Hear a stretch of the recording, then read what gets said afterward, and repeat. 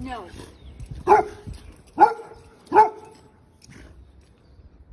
Don't do it anymore.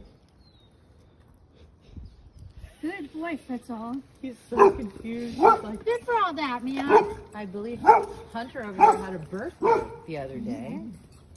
Mm-hmm. No way. Come here?